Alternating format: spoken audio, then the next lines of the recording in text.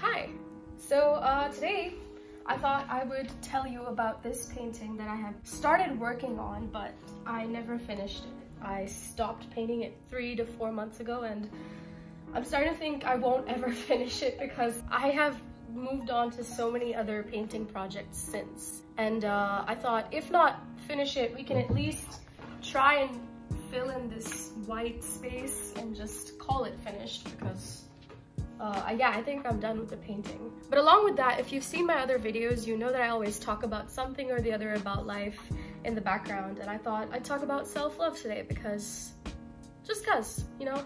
I've been thinking a lot about self-love. It's, it's a very complicated matter and it'd be fun to just chat and paint and talk about self-love. So that's what we're doing today. All right, well, whenever we discuss a subject, we should start with the definition. So I will be going with that.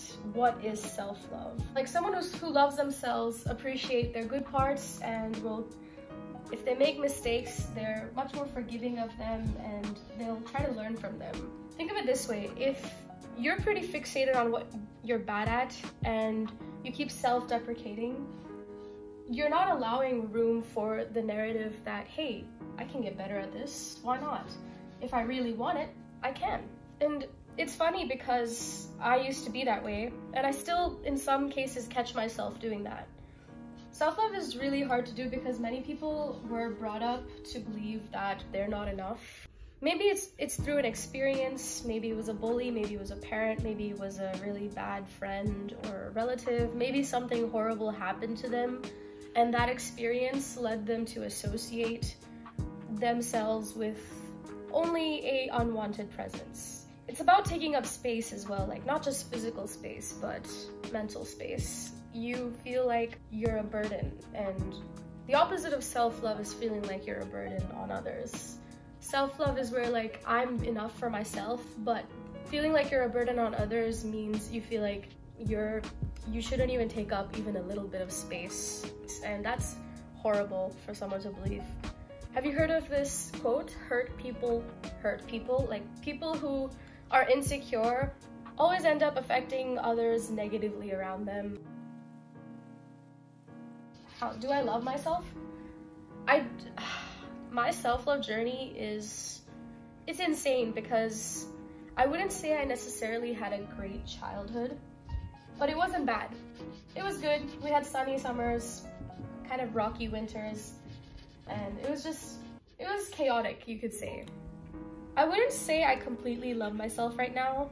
I think I need therapy, just like most people do. There's still a lot for me to work through. Growing up, I had literally no self-esteem. I used to think that I was annoying and I used to hate the sound of my voice and the way I looked and I just you know, this dumb kid and other people were just born awesome and I I somewhere in the back of my mind I knew that was bullshit but I think for the most of it it was just me walking around a bit hunched and like okay like let's stay out of people's way and if they hate us it's the end of the world. If someone hated me I would overthink that thing so many times it like I would overthink about someone saying just one little thing for a week it would hold so much space in my brain. And in that sense, I'm so proud of how far I've come. Oh, and that reminds me, self-love is also not needing anyone else to tell you that you're awesome and amazing for you to believe that. What I used to do is like when someone complimented me, I'd be like, oh, that's great. I'm wow, I didn't know you thought of me that way, you know? And then in a week, I'd just go back to being like, wow, I wish someone told me that again. But self-love is when you don't need anybody to tell you that, but when they do, you receive it well and gracefully and you're just like, hey, thanks. I appreciate that, you know? And self-love is also when someone says something harsh to you or even if it's constructive, you don't take it the wrong way because you know whether you, if you did something wrong, then you know that you did something wrong. You're self-aware enough and you can correct it.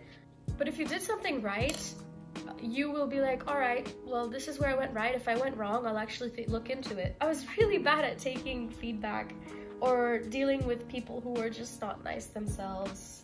I kind of thought that self-love was like a lottery system. You're either born as someone who loves themselves or not, and I think that's incredibly dumb now. I just ended up accepting defeat, but now I know it's far from it. It's totally possible to learn to love yourself now, and that is such a relief. It is a relief to know that there's always a chance for someone to work on themselves. Because imagine living life believing that you're born into the situation and there's no way out of it. That sounds very suffocating and claustrophobic of a thought.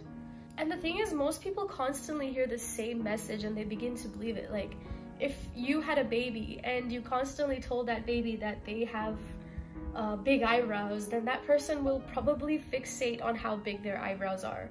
If life is just a consistent image of something negative, they're gonna grow up to associate themselves with that negativity. So I guess that's another reason. There's just a lot of bullies in my life and I looked like an easy target. Ironically, I learned how to love myself through the horrible people I encountered. I'll give you an example.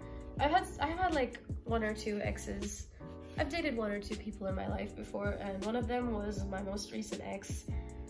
He was a really crappy person, not gonna lie, but uh, he kept breaking up with me. Uh, and I used to have this fear of rejection, so if someone broke up with me, I'd like get into panic attacks, or if someone even like minutely rejected me through a sentence like, oh, you know, I don't think I want to hang out with you, or something like that, I'd freak out. But like this guy, he was literally my fear as a person. He would reject me in every way you could possibly imagine. He wouldn't say much nice stuff about me. He would distance himself when I was the most vulnerable. He knew how to play my strings, which spot was my weakest, which spot was my Achilles heel. And this guy, he just kept breaking up with me. And the first time he broke up with me, I was a mess. I was in pieces. I called up my friend I'm like, where am I gonna find an amazing guy like him ever again? And that's embarrassing and so cringe now that I think about it. That was my mindset back then. I was like, wow, nobody else is gonna love me. I just managed to finally catch this guy. I will never get another fish again. I didn't even think he was mistreating me back then. We got back together eventually. The second time he broke up with me, it was still just as bad. Third time, a little less bad, but like I still hated myself. I freaked out and I'm like, damn, this is the third time I lost him. I'm doing something wrong. Fourth time, I was like, oh, okay, I'm getting a little used to this. Fifth time, I'm like, starting to get a little bored and around that time I started picking up reading psychology and philosophy really helped with my self-esteem. Six time, seven time after a point I was exhausted but I kept going back because I was trauma bonded but that's like a whole other story. I was afraid of rejection but he sort of exposure therapied me into being not at all afraid of rejection. The idea of just going up to someone and being like hey I like you and then dating them and then them breaking up with me used to be terrifying to me but now it's like it's a part of life and I guess I have him to thank for that, uh, facing the fear of rejection.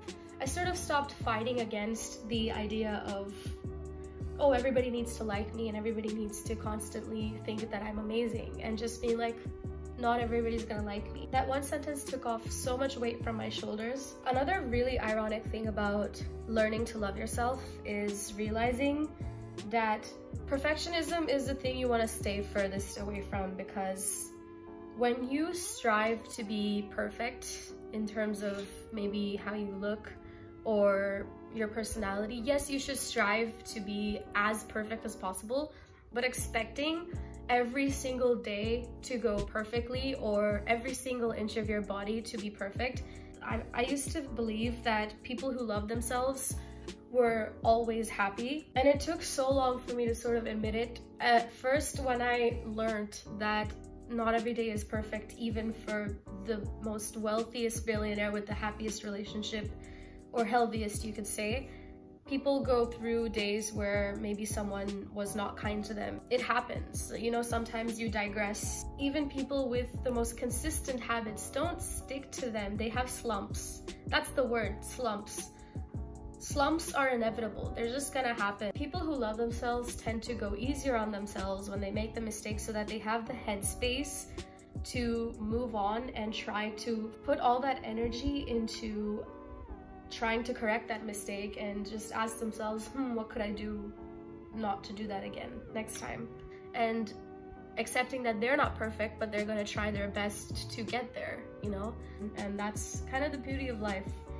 You're just sort of leveling up the more you go. And the people who don't stop seeing life as this continuous phase of leveling up and learning and growing are usually the people who love themselves. I also found that little things you do for yourself also mean self-love. I do skincare for myself because I feel like my face, even though I used to hate it, I'm like, I'm gonna take care of it and try to just, you know, make it look as presentable as I feel it would look.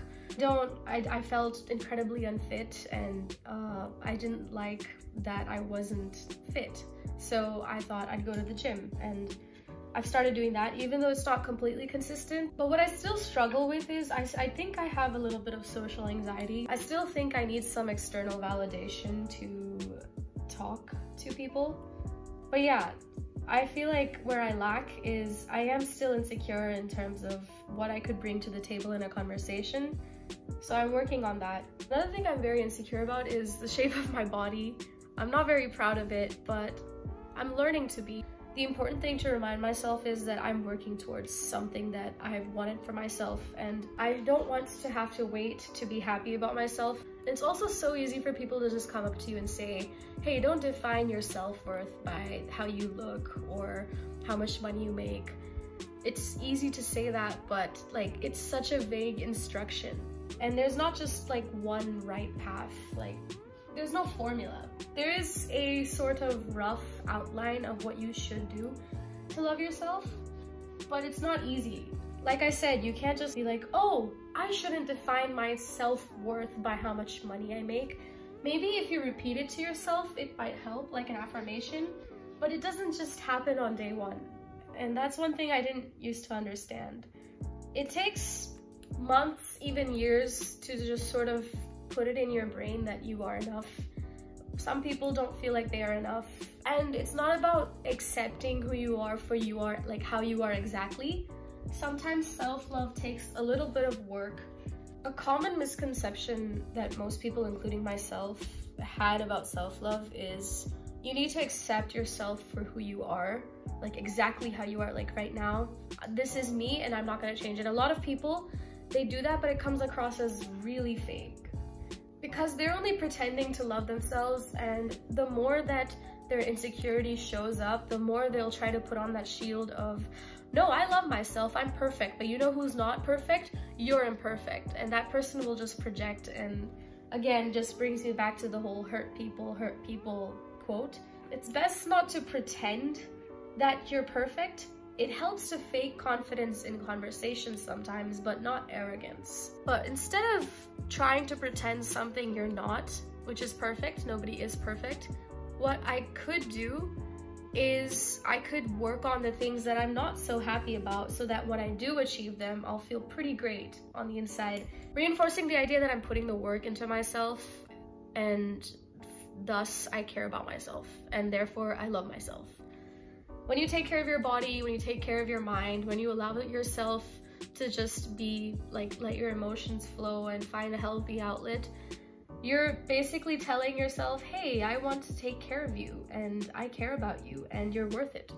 Also, kids are really good at self-love. They're kind of like a blank canvas. They're pretty new to the world. What the world does is it beats you down into this person that society just wants to mold and everybody has to look the same. There are some traits that kids have that you need to leave behind like insecurities or tantrums but there are some things that would be really nice to keep like innocence or curiosity and kids who are allowed the room to explore themselves and explore the world with gentle parenting are usually the people who grow up to love themselves the most because they stay just as curious about everything and about themselves and they're very reassured and they feel very safe and when you feel safe, you're prone to feel like you can take up space. Again, back to the space aspect thing.